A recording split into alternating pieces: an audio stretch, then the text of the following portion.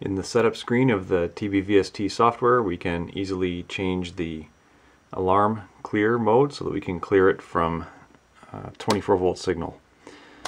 So if we power up the actuator the first time we give it a signal it will home itself and run that move. We can run different moves as well.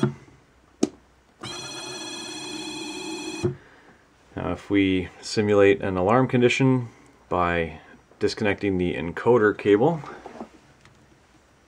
we should see that the ready light turns off. This is the alarm output. And we also see a red light on the amp. Now we can reconnect the encoder signal. And we can easily clear the alarm using a 24 volt signal from the CSTR bit and we can easily run a move. Again, it has to home itself and makes the move.